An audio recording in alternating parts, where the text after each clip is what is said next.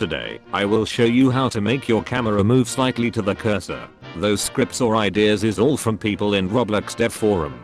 Which is not mine. Especially Troublemaker, the guy who created the idea of this thing.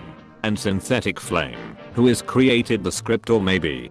So, to make this thing work, you need a camera part. Make sure the camera part is transparent, or else, it's glitchy.